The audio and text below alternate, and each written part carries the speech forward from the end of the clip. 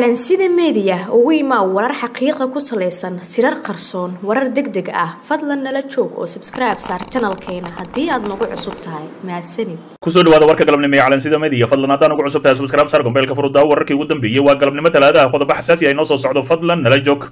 Xog xasaasi ah weerar lagu dilay askar ka tirsan ciidamada dowladda federaalk soomaaliya. Wararkii ugu dambeeyey ayaa ka soo baxaya sheekh shariif sheekh axmed ayaa afka furtay kana hadlay. Dabaaldega maanta ee somalilan faahfaahinno dheeraade ayaa ka soo baxaya khasaaraha ka dhashay weerar jidgal ahi oo lagu qaaday ciidamo ka tirsan kuwa xoogga dalka soomaaliya xilli ay mariyeen. Deegaanka warmaxan oo ka tirsan gobolka shabeellada hoose ee koonfurta soomaaliya. Weerarka oo ay fuliyeen dagaalyahanada ka tirsan ururka al-shabaab ayaa waxaa ka dhashay khasaare kala duwan oo isugu jira dhimasho iyo dhaawac. Al-shabaab ayaa sheegatay inay weerarkani ku dishay ugu yaraan saddex askari oo ka tirsan ciidamada dowladda soomaaliya. Sidoo kalena ay qabsadeen saanad ciidan sida ay hadalka u dhigeen. Weli ma jirto wax hadal ahi oo ka soo baxay saraakiisha ciidamada dowladda federaalk soomaaliya oo la xiriirta weerarkaasi ee ay guulaha ka sheeganayaan kooxda argagixisada ee al-shabaab. Xaaladda goobihii lagu dagaalamay ayaa haatan degan waxaana ciidamada dowladda ee la weeraray lagu soo warramayaa inay sii wateen socdaalkoodii islamarkaasina meydkooda hor u qaateen. Inta badan al-shabaab ayaa weeraro ku dhufoo ka dhaqaaq ahi ku qaada ciidamada dowladda iyo kuwa amisom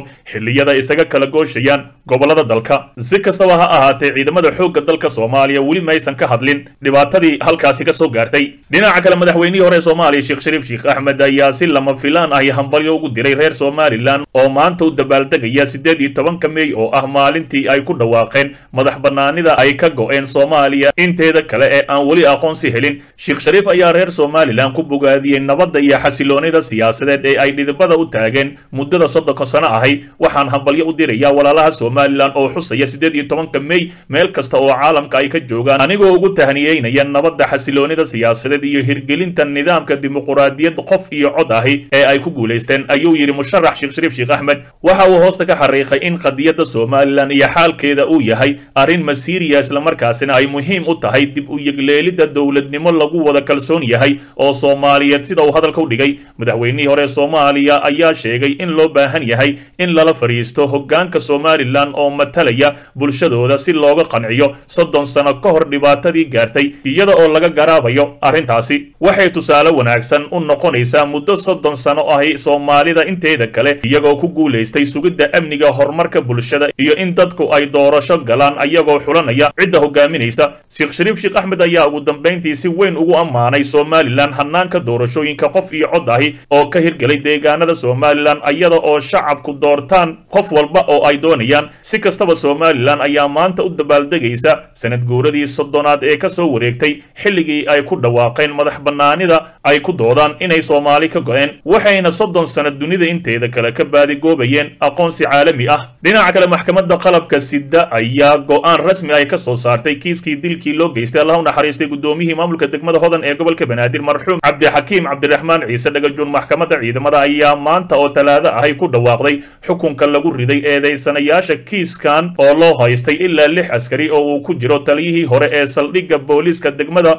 howlwadaag ee gobolka banaadir shucayb cabdi maxamed sidoo kale maxkamadeynta raggaani ayaa soo martay heerarka kala duwan waxaana horay xeer ilaalinta maxkamadda u sheegtay in dilka dhagajuun uu ahaa mid si ulakac ahi loo geystay kuna ogaadeen baarista la sameeyey iyo warbixinada guddiga loo saaray dhacdadaasi. Ugu dambayntii guddoomiyaha maxkamadda ciidamada qalabka sida xasan cali nuur shuute oo ku dhawaaqay go'aanka maxkamadeynta ayaa sheegay in taliyihii hore ee booliiska degmada howlwadaag kaashaalne shucayba cabdi maxamed lagu riday xukun shan sano ahi oo xabsi ciidan ah uh, halka sidoo kale deble booliis bishaar axmed cabdi lagu xukumay shan sano kaas oo haatan baxsad ah ayna ku raad joogaan saraakiisha laamaha ammaanka soomaaliya. Sidoo kale guddoomiyaha maxkamadda ayaa sheegay in min laba sano xabsi ciidan ahi lagu xukumay eedaysanayaasha kale ah jamaal isaaq cali dhiblaawe ibraahim yuusuf faarax sabriye afrax iyo kulmiye kaariye cali kuwaas oo ka tirsanaa ciidanka booliiska soomaaliya. Waxaa sidoo kale u sii dheer in ay bixiyaan magdhow diyo ah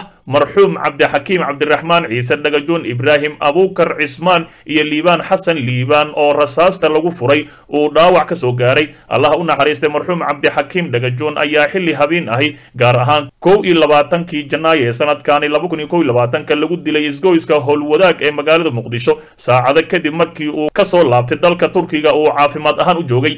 Fadlan dib u daaw wararkeenii hore ee calansida meediya xog xasaasiya shaki iyo cabsi ka dhalatay askarigii badbaado qaran ee lagu dilay magaalada muqdisho iyo saraakiishii badbaado qaran oo iminka cabsi xooggan soo wajahday. Qaar ka mid ahay ciidamadii la magac baxay badbaado qaran ee diidanaa muddo kororsiga iyo saraakiishii hogaaminaysay ayaa wajahaya cabsi amni oo xoog leh sida ay inoo xaqiijiyeen. Tobaneeyo ka mid ah dhinacaasi ciidamada badbaado qaran oo ka tirsan ciidamada soomaaliya ayaa sheegay in uu bilowday beegsiga raggii mucaaradka u dagaalamayay iyo kala shaki weyn taasoo keeni karta in uu jabo gebi ahaanba heshiiskii rooble iyo mucaaradka. Cabsidaani oo maalmahan taagneed ayaa waxay ka sii dartay maalmo kadib markii askari ka tirsan ciidamada mucaaradka islamarkaasina qayb ka ah hay'adda nisa la dilay kadibna lagu tuuray god qashin ahi. Marxuumka ayaa sidoo kale lala dilay qof dumar ahi oo la joogtay waxaana xog la helay ay tilmaamaysaa in ay ka dambeeyeen ciidamada ka tirsan dowladda federaalk soomaaliya ama ka amar qaata villa soomaaliya. Wararkaani waxaa ka soo xiganay dhinaca ciidamada mucaaradka. Saraakiisha iyo ciidamada taageeray mucaaradka ayaa qaba cabsi ah in si gaar ahi loo beegsan karo islamarkaasina ay soo gaartay warar cabsigelin ah oo kaga imaanaya dhinaca villa soomaaliya senator muuse suudi yelaxow ayaa axaddii la soo dhaafay ra'iisul wasaaraha soomaaliya ka dalbaday in uu baaro dadkii ka dambeeyey dilkii askariga maadaama uu qaatay mas'uuliyadda amniga dalka. Xaaji muuse suudi yelaxow waxa uu sheegay in rooble uu mas'uul ka yahay dhib kasta oo gaara ciidanka mucaaradka ee badbaado qaran maadaama isaga uu heshiis la galay. Dowladda federaalk ayaa weli ka hadal askariga sida arxandarrada ahi loogu dilay muqdisho waxaana inta badan eedda ay farta ku fiiqaysaa in dilkaasi ay ka dambeeyeen ciidanka villa soomaaliya. Si kastaba ha ahaatee ciidamada badbaado qaran iyo heshiiskii mucaaradka iyo rooble ayaa halis ku jiro. Dhinaca kale ciidanka ammaanka magaalada muqdisho oo soo qabtay rag burcad ah islamarkaasina dhibaato xooggan u geysan jiray dadka degan magaalada muqdisho ciidamada ammaanka gaar ahaan kuwa booliiska soomaaliya ayaa xali howlgal qorshaysan ay ka fuliyeen qaybo ka mid ahay gudaha magaalada muqdisho kaas oo sidoo kale lagu xaqiijinayay amniga caasimada dalka. Howlgalkani ayaa waxaa si gaar ahi loogu fuliyey degmada yaakshid ee gobolka banaadir iyada oo lagu soo qabtay rag burcad ahi oo dhac ka geysan jiray degmadaasi. Ragga la soo qabtay oo gaaraya ilaa saddex nin ayaa waxa ay wateen mindiyo iyo bastoolo sidoo kale waxa ay wateen waxyaabaha maanka dooriya. Taliyaha booliiska degmada yaakshid gaashaanle jimcaale macow ayaa ka warbixiyey howlgalkaasi wuxuuna sheegay in ragga la soo qabtay ay habeenadii la soo dhaafayay dhibaato ku hayeen dadka deegaanka iyagoo dhac baahsan u geysan jiray shacabka soomaaliyeed. Sidoo kale wuxuu tilmaamay in raggani ay u gudbin doonaan maxkamadda si looga qaado. Tallaabo waafaqsan sharciga dalka u yaalla. Kooxdani waxay maalmihii la soo dhaafay dhac u geysanayeen shacabka degmada yaakshid waxaana na soo gaartay cabashooyin dhowr ahay ugu dambayntii gacanta ayaan ku soo dhignay burcadaani oo watay bastoolado mindiyo iyo waxyaabaha maanka dooriya. Sida xashiishka maxkamadda ayaana u gudbin doonaa si loo mariyo ciqaabta ay mudan yihiin ayuu yidhi taliya magaalada muqdisho ayaa waxaa muddooyinkii la soo dhaafay ku soo badanayay falalka la xidhiidha dhaca oo ay si weyn uga cabanayeen dadka shacabka ahi ee ku dhaqan caasimadda islamarkaasina hooyooyinka ama dumarka soomaaliyeed qaarkood dahabka laga dhacayay dhinaca kale maamulka jubbaland oo caddeeyey mowqifkooda ku aadan shirka labaatanka mey ka dhacaya magaalada muqdisho dowlad goboleedka jubbaland ayaa caddeeyey mowqifkooda ku aadan shirka wadatashiga doorashooyinka ee uu dhowaan iclaamiyey ra'iisul wasaaraha xukuumadda xilgaarsiinta maxamed xuseen roble kaasoo la filayo in uu dhowaan ka dhaco magaalada muqdisho. Wasiiru dowlaha madaxtooyada jubbaland xersi jaamac gaani ayaa sheegay in jubbaland ay soo dhoweynayso qabsoomidda shirka isaga oo rajo wanaagsan ka muujiyey waxyaabaha ka soo bixi doona. Sidoo kale waxa uu hadalkiisa ku sii daray in wasaare maxamed xuseen rooble laga doonayo in uu caddeeyo in ummadda soomaaliyeed uu dhexdhexaad u yahay laguna kalsoonaado dhankoodana ay dadaal weyn gelin doonaan sidii soomaaliya waddada saxda ahi ugu soo noqon lahayd maamulka jubbaland ayaa ka mid ahay maamulada soo dhoweeyey shirka uu iclaamiyey ra'iisul wasaaraha xukuumadda xilgaarsiinta maxamed xuseen rooble kaas oo qabsoomaya labaatanka bishan oo ay ka harsan tahay birita oo keliya maalinta khamiista ana ay ku aadan tahay labaatanka bisha mey si kastaba ha ahaatee weli lama oga puntland inay ka soo qaybgalayso hase ahaatee saacadaha soo socdo ayaa laga yaabaa inay mowqifkooda ayagana caddeeyaan ka soo qaybgalka shirkaasi. dhegaystow ogow haddaadan xalka qayb ka noqon waxaad qayb ka tahay dhibaatada dalka.